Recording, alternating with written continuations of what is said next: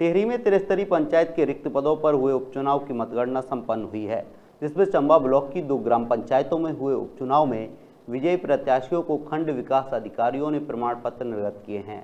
Chamba block में BDO DN Badola ने बताया कि ग्राम पंचायत आराकोट में प्रधान पद के उपचुनाव में धर्म सिंह रावत 150 मतों से चुनाव जीते हैं। वहीं रावत को दो सौ तिहत्तर और रामेश्वर देवी को 123 वोट मिले हैं। साथ ही गौसारी ग्राम पंचायत में प्रधान पद पर भारती 40 मतों से विजयी हुई हैं।